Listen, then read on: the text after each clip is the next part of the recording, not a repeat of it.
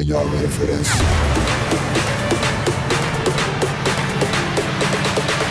There she goes, back to her final resting spot. Right to the crusher.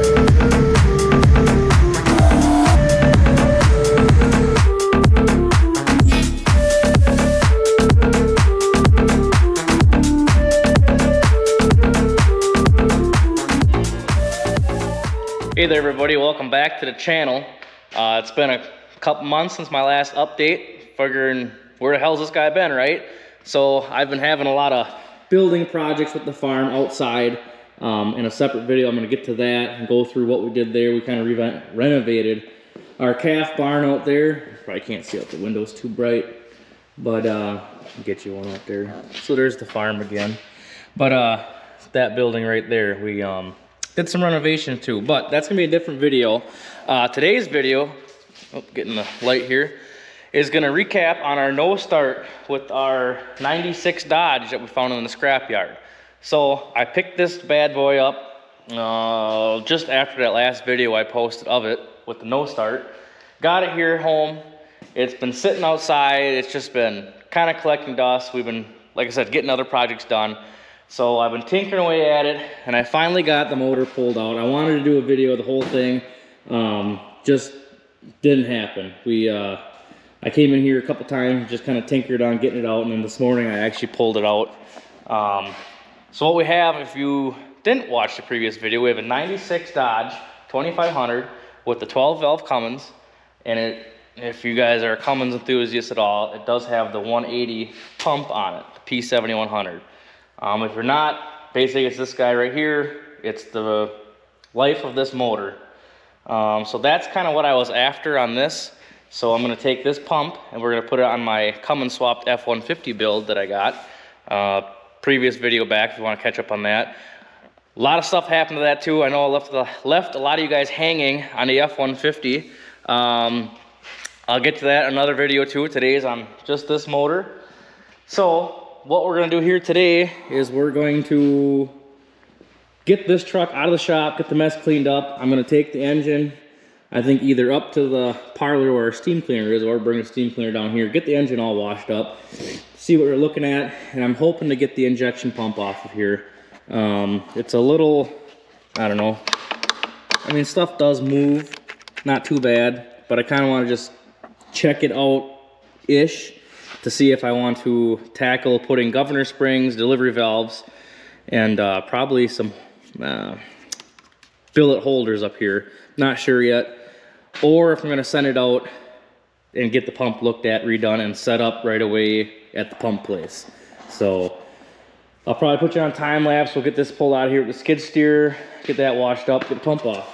So stay tuned.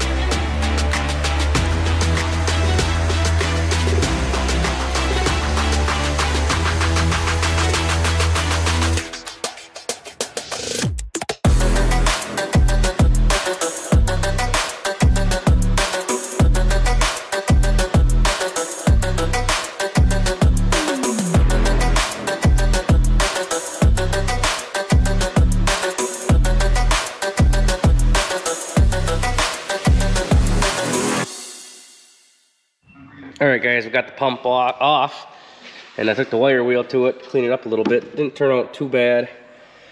Uh, not sure if I'll just leave it or throw some paint on it maybe. But um, anyhow, so I'm pretty sure it's a virgin pump, never touched before. Uh, it's missing two bolts here, but I see that it never came with the fuel shut off, so I'm thinking they must have either took it off because it wasn't working. But anyhow, what makes me think that is because this bolt or little screw right here was never out. It's a tamper proof. So basically just take the grinder here, cut a little slit across it here, and then we got her loose. So first time it's coming out right now. and this one also, will get him out of here. so it should be able to come right off. Oh, come on. Well, let's just take them out first then. Put them in our little pile here. All right. Well, everything looks factory. There's the foot. That's the, if you're, the fuel plates and all that stuff play a big part in here. So basically, that's the foot here, and the fuel plates right here. If we take that out, we'll find well, let's just take it out quick.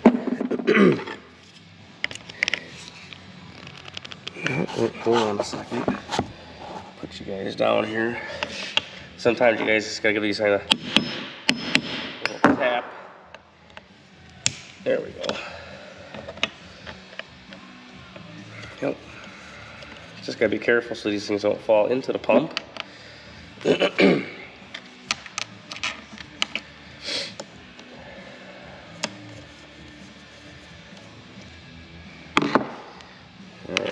So, so if you look down in there, these holes are slotted so you can move that fuel plate forward or back, more fuel, less fuel. So it's right in the middle, should be on factory setting, and then pull them out. I'm pretty sure that is a factory fuel plate.